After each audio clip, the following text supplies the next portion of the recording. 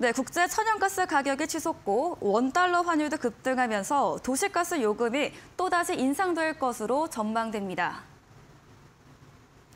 정부와 에너지업계에 따르면 산업통상자원부는 오는 10월 도시가스 요금을 올리기로 하고 기획재정부와 인상 수위를 논의하고 있는 것으로 알려졌습니다. 최근 천연가스 가격 급등으로 가스공사의 미수금이 5조 원을 넘어선 것에 따른 조치입니다. 한국전력공사의 올 연간 적자 규모가 30조 원에 달할 것으로 전망되는 등 전기요금 인상 요인도 쌓이고 있어 공공요금발 물가 상승 압박은 당분간 지속될 것으로 예상됩니다.